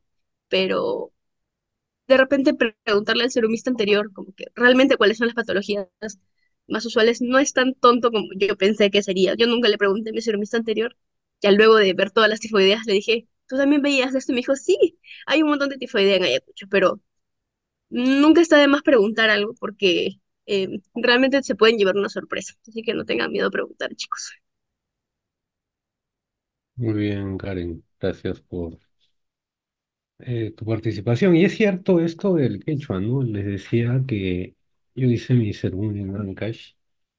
eh, a pesar que era capital de provincia, eh, sí mucha gente hablaba quechua. Ah, quizá la suerte que yo tuve fue que hice por Serum, perdón, hice el Serum por eh, salud. Y en salud los que están asegurados son los profesores, ¿no? Y la mayoría de profesores tienen, hablan castellano y quechua a la vez, ¿no? Eh, entonces no había mucho problema, pero sí había algunos casos que venían, sí que no eran profesores, eran esposos o convivientes, eh, perdón, como le llamaban en el seguro, no me acuerdo la palabra, pero eh, y hablaban quechua o los padres, etcétera. Entonces también tuve suerte que la técnica era de la, del, del lugar, ¿no? Era nombrada. Dos técnicas tenía. Ahí ese es otro punto, ¿no? Algo que mencionó Renato, ¿no? El equipo de trabajo. Las dos técnicas eran de la zona, ¿no? Eran nativ- na- na- naturales de, de ahí y hablaban quechua y ellos me traducían, ¿no? Pero definitivamente a- habré aprendido dos o tres palabras. ¿Pero por qué? Porque tuve esa facilidad. Pero es algo, algo bueno esa recomendación, ¿no? De que aprendes algunas palabras y ahora en, en, en web debe haber también diccionarios, etcétera, que quizá también puedan ayudar, ¿no? Y, y eso, ¿no? En, en las sierras sí, sí tienen que, van, perdón, les va a tocar pacientes atender que hablen quechua puro, pero quechua, y no solamente no les entiendan, no, perdón, no entiendan ustedes, sino que no les entiendan a ustedes, ¿no? Entonces tiene que haber eh, un tema de, ya, alguien me traduce, pero también lo tienen que traducir ustedes a ellos, ¿no? Teniendo en cuenta que tienen que dar recomendaciones médicas, explicar cómo tienen que tomar el medicamento, eh, etcétera, etcétera, ¿no? Entonces, y ahí obviamente va a tomar más tiempo, ¿no? Al, alguien más que esté conectado y quiera. Ah, ahí está Nairu, muy bien. Hola chicos, ¿qué tal? Creo que la experiencia que tenemos Renato, Karen y yo coincide en varios puntos, porque en mi caso yo también estoy en un 1-3, rodeada de muchísima gente, de muchísimos profesionales de la salud, no médicos, porque solamente somos dos médicos, en mi posta al menos, eh, pero un poco por ahí también quería aprovechar para hablar de eso. Eh, creo que el tema médico, más o menos todos vamos a ser capaces de manejarlo bien. ¿ya? O sea, creo que todos cuando empezamos las primeras consultas mm, podemos dudar hasta de dar un paracetamol con cierta seguridad, ¿no? Pero hay ciertos aspectos a los que te empuja el serum, sobre todo cuando ya empiezas a trabajar con mucha más gente, que la carrera nos los ha inculcado de alguna manera, pero no diciéndote, ok, acá estás aprendiendo a, por ejemplo, dirigir un equipo, acá estás aprendiendo a manejar una emergencia al 100%, a decirle a qué persona, qué persona tiene que hacer qué cosa, qué persona tiene que hacer la otra. ¿no? Y eso es algo que, por ejemplo, en mi caso sí chocó un poquito. Eso puede ser a veces por la forma de ser de cada uno, ¿no? Hay gente que pues tiene don de gentes, ¿no? Y alto que encaja muy bien con los grupos, este, y otras personas que no. En mi caso, por ejemplo, lo que pasó fue que al inicio todos pensaban que yo era muy fría con, con ellos y nadie tenía la confianza de decirme nada. Entonces era como que de una forma, no me pasó lo que le pasó a Karen, sino que mis primeras semanas estuve más sola que nadie en mi posta, súper aislada, porque pensaban que era muy fría, inclusive en algunas ocasiones me dijeron de que si de la misma manera que hablaba con el resto, hablaba con los pacientes. Y me hicieron dudar a mí misma de que quizás el trato que yo tenía con los pacientes no, no era el adecuado, ¿no? Pero hablando con los mismos pacientes, ellos pedían regresar conmigo, entonces dije, ok, no, no es tanto por ahí. Empecé a soltarme más con el equipo y se empezó a trabajar mejor como un equipo, ¿ya? Porque ¿qué ocurría? O sea, cuando llegan las emergencias, sobre todo, este, sales como médico a atender y tienes que manejar un montón de gente. Bueno, nosotros, por ejemplo, en un 1-3 sí tenemos un montón de gente. En mi caso, por ejemplo, eh, mi posta somos personal contratado más o menos 40 personas y encima eh, mi, mi posto está muy cerca de la ciudad, yo estoy haciendo Ceros por Huancayo y hay varias facultades de medicina, enfermería obstetricia. Entonces tengo internos de medicina, eh, enfermería y obstetricia. Con todos ellos somos prácticamente 60, 70 personas diarias. Entonces, llega una emergencia, todo el mundo con la gana de atender, ayudar, sale y tienes que dirigir a muchísima gente. O sea, ya no solamente que vas a trabajar con tu enfermera o con tu, o tu técnico, ¿no? Que también vas a tener que saber cómo darle órdenes de manera ordenada, decir qué cosa hacer, qué cosa no hacer, cómo te puede ayudar, cómo no. Pero después también a manejar un montón de gente, es decir, tú tienes que ir llamando, tú tienes que ir coordinando la referencia, tráeme el papel, hay que hacer tal cosa. ¿No? Entonces, eso yo pensé que, digamos, en la carrera lo tenía bien practicado, pero cuando llegó el momento, y sobre todo, como les dije, que tenía esta situación de que pensaban que era fría, distante con el resto, pues costó bastante, ¿ya? Pero bueno, son experiencias de, de, cada uno, digamos, ¿no? Entonces, pequeñas cosas que les quisiera decir a los que están presentes, que están por adjudicar. Primero eso, que vayan con todo menos con miedo. La parte médica ya la tenemos y siempre se puede reforzar, siempre podemos mejorar. Cada consulta, digamos, es una oportunidad de mejora, ¿ya? Como decía Renato, hay ciertas patologías que hacen que empecemos a estar muy mecánicos con, ok, ya tiene esto desde la primera cosa que te dice, ya voy a ir haciéndole la receta porque ya sé que tiene, ¿no? Pero después van a venir casos extraños, alucinantes a veces. A mí me han venido cosas que no pensé verlas y que son oportunidades, como les digo, de estudiar, repasar un tema que pues, lo habíamos visto quizás en Clínica Médica 1 y no lo habíamos vuelto a ver, ¿no? Y quizás no vas a hacer el trato completo, pero sí puedes enfocarlo lo suficiente como para que cuando lo lleves al hospital o lo refieras, eh, puedas este, ya orientar mejor el diagnóstico con el que lo estás presentando. Es diferente que tú simplemente digas que le escuchaste un soplo a que le hagas la anamnesis completa y ya orientes más o menos cuáles podrían ser las posibilidades diagnósticas. Es diferente para el hospital que tú le presentes un caso súper básico diciendo que encontré tal cosa y es raro, a algo que, oye, mira, se podría hacer tal o cual. Al menos en mi, en mi red y micro red, nos permiten mucho eh, este tema de la discusión de casos. Porque no sé cómo lo estarán haciendo los chicos, pero al menos acá en Junín se está dando mucha, eh, mucho peso a la telemedicina, en el sentido de que los centros de salud tenemos que presentar los casos al hospital para que sean aceptados. Es un trámite tedioso, no les voy a mentir, o sea, formatos, firmas del paciente, fotos, grabaciones, mandar correos, que es lo que les estaba comentando para lo que obligatoriamente necesitamos internet pero llega un momento en el que, digamos, te mandan el link, puedes hablar con el especialista, y a mí sí me han tocado varios especialistas que me han dado la oportunidad de presentarles el caso, opinar, realmente hacer una discusión médica, ¿no? Que es positivo tanto para el paciente como para mí, mi formación como médico general ahorita, ¿no? Entonces, eh, es bueno, ya les digo, que enfrenten los casos, cosas que encuentren, estudiarlas más, recordar que dentro de lo que cabe, nosotros al atender al paciente en primer nivel tenemos un poquito más de tiempo para conversar con el paciente, ver qué cosas han pasado antes, qué cosas este, quizás le han dicho otros médicos, hacer una análisis un poquito más completa. A pesar de que eso, bueno, seguramente que cuando ingresen a sus postas les van a decir que ha salido una nueva ley que dice que el tiempo de consulta en atención primaria se reduce a 10 minutos, que nunca debería cumplirse porque al menos en el MINSA es prácticamente imposible por la cantidad de formatos, papeleo que tienen que llenar en cada consulta, ¿ya? Pero de todas formas, por ejemplo, yo tengo pacientes que regresan del hospital y me cuentan cómo han sido sus consultas en el hospital y muchas veces me dicen como que, doctor, usted me escuchó mucho más de lo que me escuchó el especialista, ¿no? Entonces yo no entiendo cómo él va a saber qué tengo si ni siquiera me dejó hablar. Entonces, aprovechen eso, chicos, el contacto con el paciente. Como les estaba contando el doctor, hay pacientes difíciles, eso lo van a encontrar en todos lados, ¿ya? Este, a veces cuesta mucho manejar esas situaciones, sobre todo las primeras, las primeras veces, al menos a mí personalmente, me chocó bastante que un paciente, por ejemplo, no esté de acuerdo en que yo no le estoy dando antibióticos a su hijo, o que por qué no le he dado prednisona, cuando la otra vez o todos los médicos me han dado prednisona, me han llegado a decir que qué clase de criterio médico tengo, que por qué no les estoy dando esos medicamentos que a mí me está pagando el Estado para que yo los atienda a ellos como ellos deben o como ellos quieren.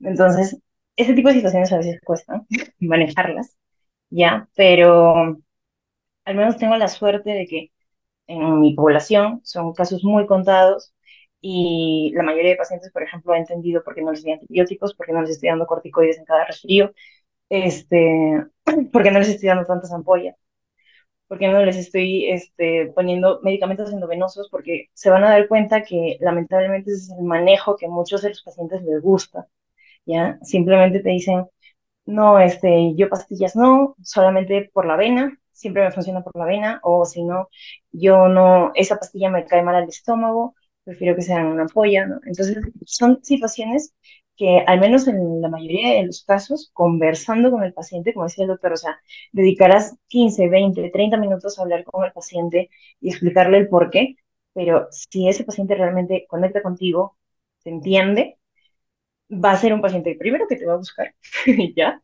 Y segundo que este, el trato que vas a tener con, con, él y los tratamientos van a ser los adecuados. O sea, he tenido pacientes que, como les digo, me reclamaron a un principio, se les explicó, y cuando simplemente se dieron cuenta de que sin corticoide ni ampolla les pasó su resfrío en la misma cantidad de tiempo que la otra vez que le pusieron mil cosas por la vena, vienen y me dicen, ¿no? Como que, ah, doctora, sí me funcionó, sí, ya estoy muy bien de eso, ahora la buscaba por otra cosa, ¿no? Entonces eso también pasa bastante. Eso, chicos, un poquito desordenado, pero más o menos eso era lo que les quería comentar. Para los que estén acá, que vayan a elegir estos tres días, muchísima suerte. Eh, conversen bien con, los antiguos serumistas y, y, bueno, eso, que de todas las plazas se sale, chicos, realmente. Sea buena plaza, sea mala plaza, ustedes van a ser capaces. Gracias, Nairus. ¿Alguien quiere preguntarle algo directamente a Karen, a Nairus, Renato, algo que no hayamos,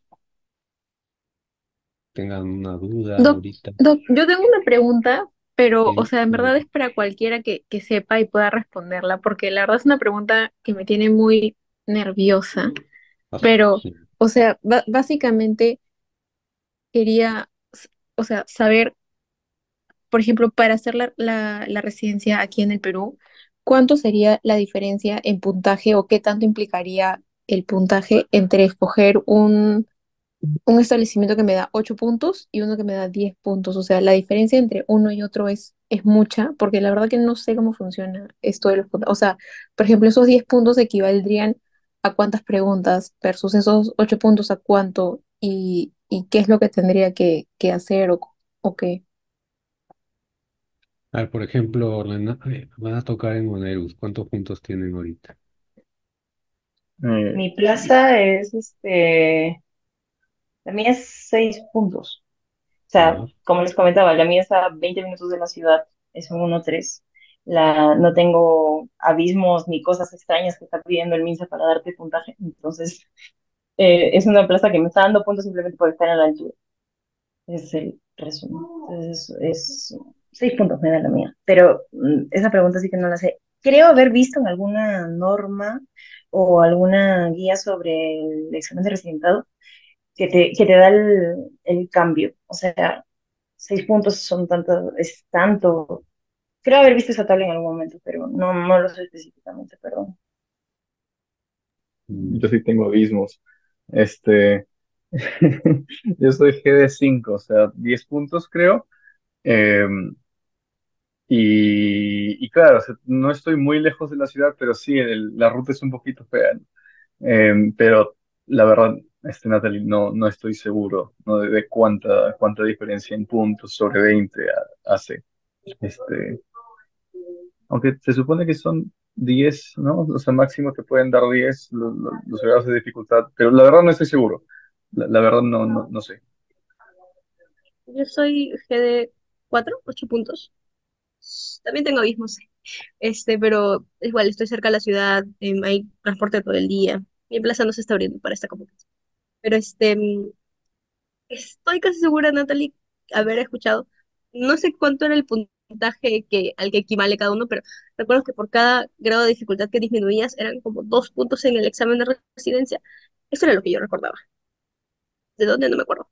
Pero este, eso, entonces, ah, me mencionaba mucho, pues que una cosa es diferenciar entre GD5 y GD4, que son perder dos puntos, pero cuando ya pasas de GD5 a GD2, ya no son dos puntos, son seis puntos, entonces es un poquito más doloroso, ¿no? El, el, cambio. Pero también recuerda que hay otras cosas que te agregan puntaje al, para lo del examen de residentado, creo que trabajar en el estado un año, que por cada año te suben puntaje, hay varios factores, pero mm, no sacrifiquen su seguridad este, por, por nada, realmente. Y, ah, doctor, también hay unas plazas, hay un, un listado de plazas pro- o sea, prohibidas que nos, nos solían pasar cuando estábamos por adjudicar, en las que han tenido denuncias por acoso o ya ha mm, fallecido algún serumista. ah, Obviamente esas fueron las primeras que eliminé yo en mi, en mi Excel cuando adjudiqué y considero que sería bueno que las tomen en cuenta porque pues hay regiones donde hay muchos de estos casos, entonces hay que tener cuidado.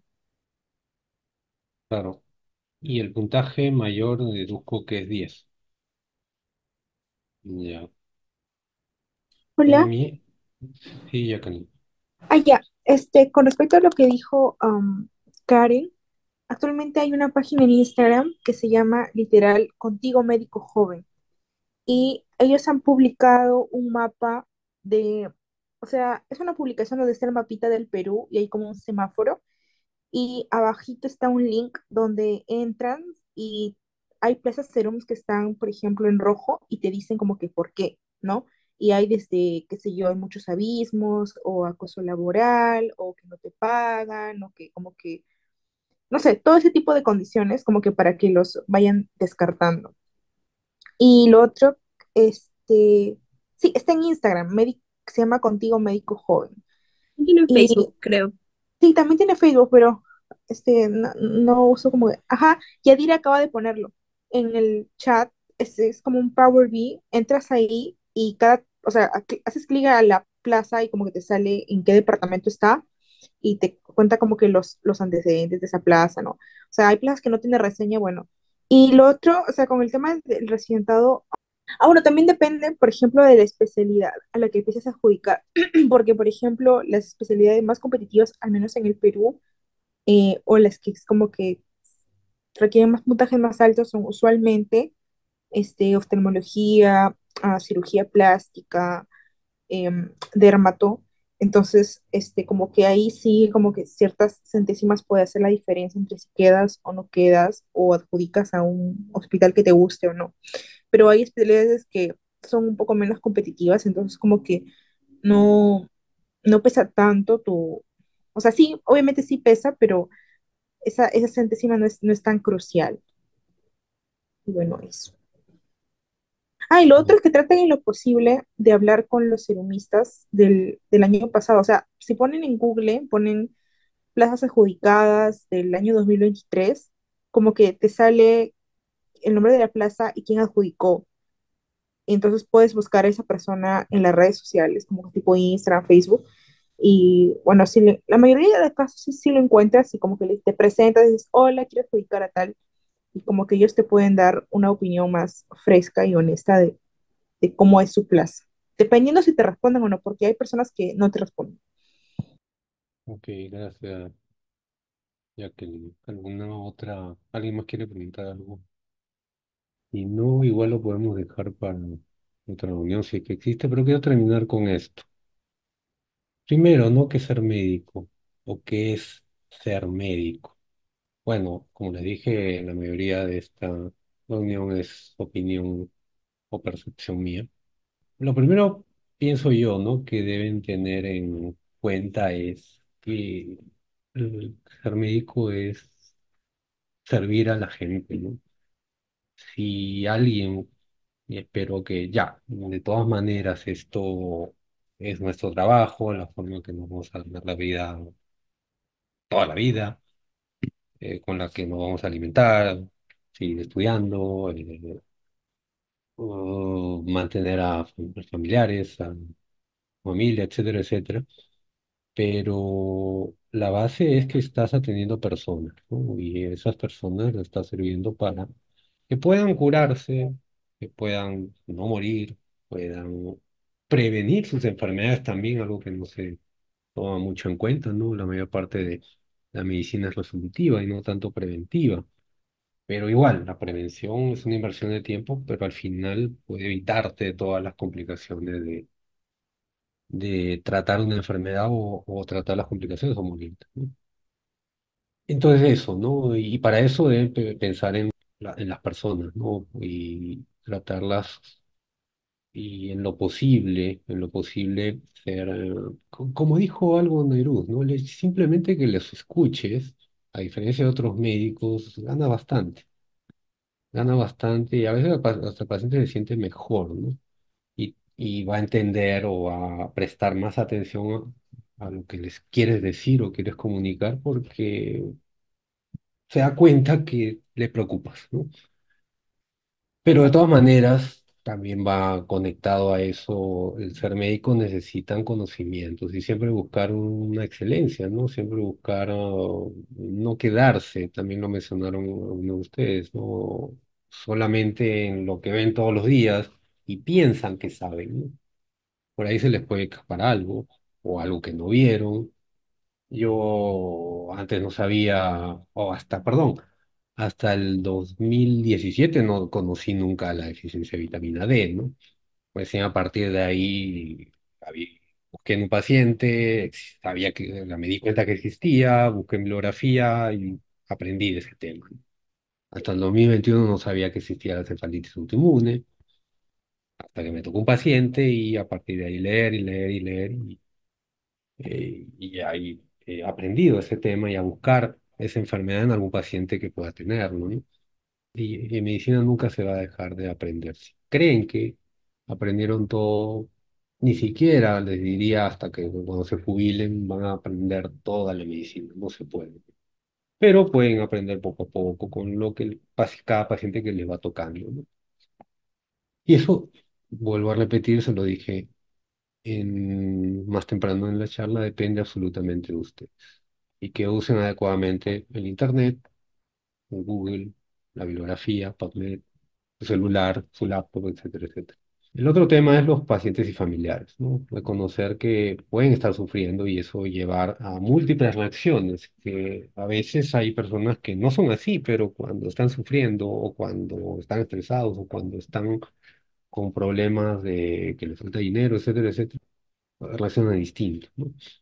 Y algo, aparte de la escucha, aparte de escucharlos, perdón, aparte de interesarlos, aparte de dedicarles tiempo, nuevamente, véanlos como si fueran sus padres o hermanos, ¿no? Creo que la mejor forma de eh, mostrarles que les interesa, ¿no? Las enfermedades más frecuentes, ya las mencionaron algunas que hay en Ayacucho, principalmente, y las que les mostré en estadísticas, créanme que eso no, lamentablemente no se iba a cambiar en 20, 50 años, no lo sé, ¿no? Van a seguir siendo por lo menos desde 2011 y quizás desde antes, sí, porque me acuerdo ver estadísticas de 2005, ¿no? Son las mismas, ¿no? Y estamos hablando cada más de 15 años, ¿no? Pero, pero, pero, también, y esto no, no lo hemos hablado, pero están aumentando las enfermedades crónicas, ¿no? Obesidad, diabetes, hipertensión, y aunque no crean, las lumbalgias no son agudas, ¿no? Son crónicas reagudizadas, ¿no? Lo mismo que las cefaleas tensionales, también son crónicas reagudizadas. También hay que saber reconocerlas, tratarlas. Y la depresión, ¿no? Es cierto que hay otra, o puede haber otras enfermedades mentales, pero la depresión mayor es algo no solamente frecuente, sino lamentablemente subdiagnosticado. Y obviamente si no lo diagnosticas, no lo encuentras, no lo vas a tratar. O lo vas a tratar inadecuadamente, ¿no? Pensando que, no sé, pues es lo único que le das eh, estimulantes o le das algo para que duerma, no lo sé, ¿no? O sea, en lugar de pensar o buscar los criterios para diagnosticar el- la enfermedad y darle el tratamiento correspondiente, ¿no? Y eso trae problemas, pues, ¿no? La depresión puede estar latente, latente, y nuevamente, ¿no? No solamente en pacientes, en sus familiares, etcétera, ¿no? Yo es- y se lo digo, ¿no? Obviamente no voy a decir nombre, pero he diagnosticado a un residente de depresión y no es que él me pidió ayuda, sino lo veía deteriorándose cada momento, yo lo conocí desde R1, eh, ya, o sea, te faltaba conocimiento se adquiere, ¿no? Pero el tema del ánimo lo vi decayéndose, decayéndose y de r tres y lo tuve que afrontar, o afrontar, no, perdón, este, acercarme a él. Me acuerdo claramente en una guardia, coincidimos, él estaba en emergencia y yo en piso, y le dije, oye, no te veo bien, ¿no? Que estaba notando en mi pabellón, ¿no? Y, y al principio no me quiso decir nada, pero después se soltó y empezó a llorar, ¿no? Este, en ese momento, pero no hay ningún problema, ¿no? O sea, cualquier persona se puede deprimir, ¿no? Entonces, lo escuché, le dije, mira, me parece que es depresión y tienes que tomar tratamiento. Eh, al inicio lo dudó y... Pero lo hizo, ¿no? Le dije, mira, terminando tu guardia o terminando cuando esté mejor. Te doy la receta si quieres y inicio el tratamiento. No lo inicié ese día, pero sí lo inició, creo, uno o dos días después. Y después de dos o tres semanas me volvió a buscar porque ya no salió al pabellón, creo. Y me dijo, gracias, ¿no, doctor? O sea, si yo había pensado que estaba deprimido, pero no me daba cuenta o no quería darme cuenta, pues, ¿no? Este, y ahora me siento mejor, ¿no? Puedo leer mejor, puedo trabajar mejor, etcétera, ¿no? Claro, y realmente él se notaba distinto, ¿no? Con otro semblante.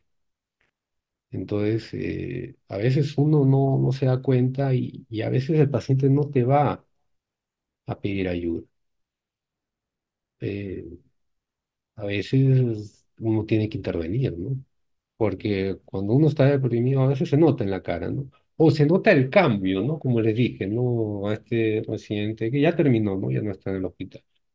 Eh, yo lo considero uno, muy ávido por aprender, por preguntarme, pero después totalmente apesadumbrado, cabizbajo. Ustedes se deben dar cuenta, no solo con pacientes, quizá amigos, compañeros, etcétera, etcétera, no le va a pedir ayuda, pero lo peor que puede pasar o me pudo pasar es que me diga, autor, no es su asunto, ¿no?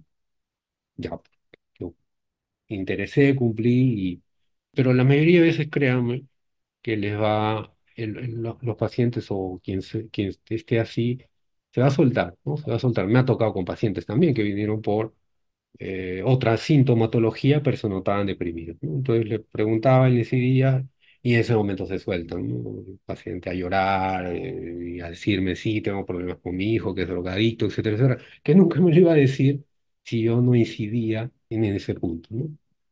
Igual, ¿no? Le doy tratamiento. ¿Y por qué? Porque si yo le doy, digo, banda a, psiquiatría para que saque la cita, para que eh, lo vea, va a pasar tiempo y lo puede abandonar o puede, o puede no ir simplemente, ¿no? Puede haber un tabú en ese, en ese sentido, ¿no? Sin embargo, ustedes pueden diagnosticar, ¿no? Ya, ya lo dijo Neru, ustedes tienen la capacidad de po- poder diagnosticar esa enfermedad iniciar el tratamiento, ¿no? Y ya después, y si le dije a ese residente, no, mira, has mejorado todo eso, pero te sugiero que continúes por un psiquiatra, tú mismo lo escoges, y un psicólogo para que también haga psicoterapia, ¿no? Pero le cambias la vida, ¿no? Era literalmente él, y me dijo, sí, me ha cambiado la vida el, el tratamiento, y lo único que receté fue sertralina, nada más, nada más, ¿no? Algo que te cambia la vida así en poco más de, de dos semanas. Y eso afecta a su trabajo, tal cual como se lo he descrito, tanto del paciente, el familiar o alguien, hasta amigos, puede, nos puede tocar en ese, en ese, con esa enfermedad, ¿no? Ok, muy bien, gracias a todos los que se quedaron, a todos los que participaron. Eso sería todo por hoy. Si es que hay algunos temas que han quedado, si les parece, si tienen tiempo, este, podemos tocarlo el siguiente domingo, si no, no hay ningún problema. Me avisan. Yo igual les voy a mandar un, un correo a, a todos todos de esta forma, ¿no? Y ahí ustedes me avisan si es que pueden estar el, el próximo domingo y si hacemos algo con los otros temas, ¿no?